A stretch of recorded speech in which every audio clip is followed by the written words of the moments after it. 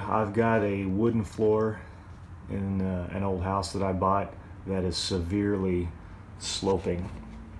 This is the bathroom here and uh, I couldn't find any YouTube videos on how to uh, level something like this so I thought I'd make a quick one uh, after coming up with a method that uh, I use myself so maybe it'll help somebody out. All right. So to begin leveling the bathroom here, I know that I want to make the bathroom floor level with the entryway, which I've already leveled with the kitchen. And in order to do that, I need to set a reference point for this room. That I want to make the rest of the room uh, the same level as this point.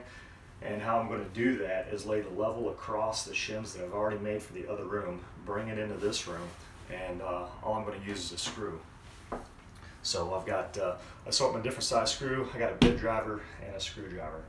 So to begin leveling this room, what I'm going to do is set the first screw here. And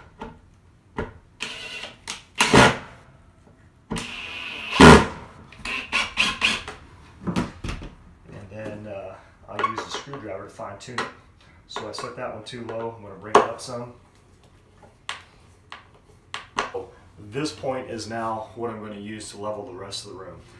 So once I have that, I can set the level on top of that screw and then work my way down the room here. So set my next screw.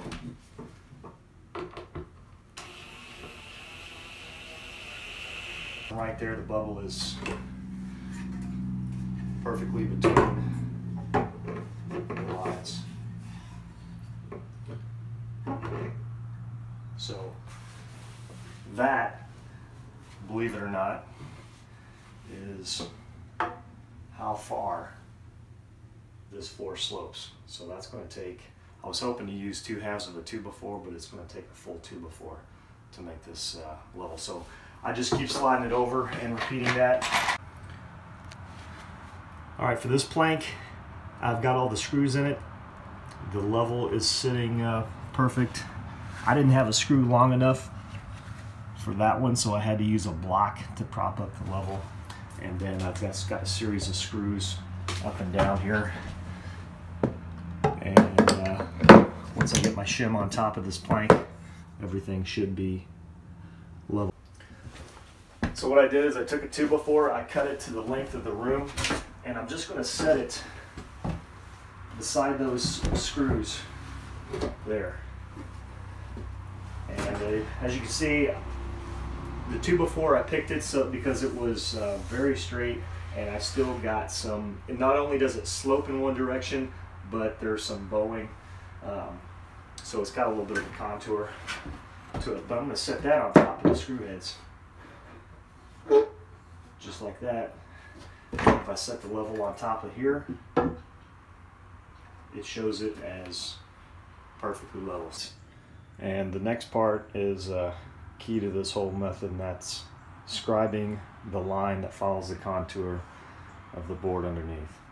So uh, I've got a couple options on how to do that. I'll show you. Option one is use this uh, caliper, I think is like $2 at Home Depot.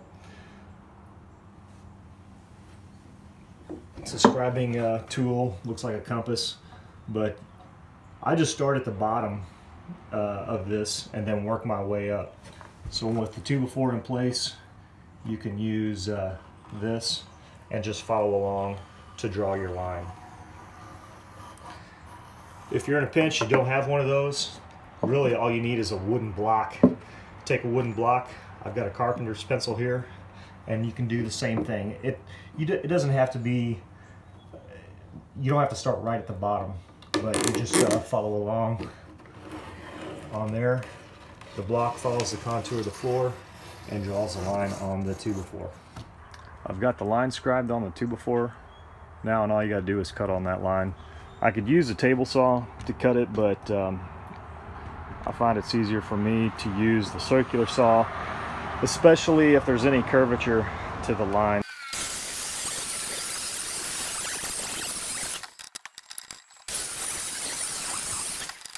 So here is the first cut of the shim follows the contour of the floor. And now we'll see how it fits. All right, here it is laying on the floor. So that was just kind of a free-handed cut with a circular saw. And as you can see, it's resting right on the top of that plank. And uh, there's little to no, there's no wobble uh, end to end, and it's pretty tight. Put the level on top of it, and it is perfectly level. So that's how you cut the shim. Now the height is still an issue. So this is not level with the other floor yet, or the other shims, as you can see there. So I've got to take the top of this down a certain amount. So um, there's an easy way to do that, and I'll show you. This is the other side, and the top of the screw head is level. So I'm gonna mark that right there, and this distance here should be the same on every screw head. So I'm gonna mark those here and up there.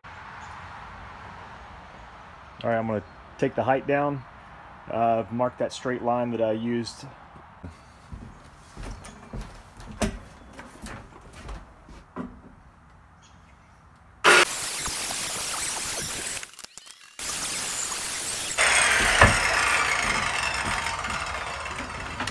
All right, that's done.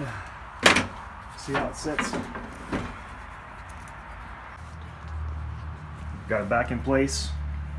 It is right there at the top of that screw.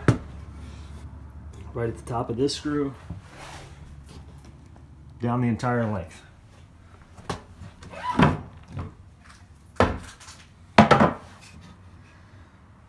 It's centered that direction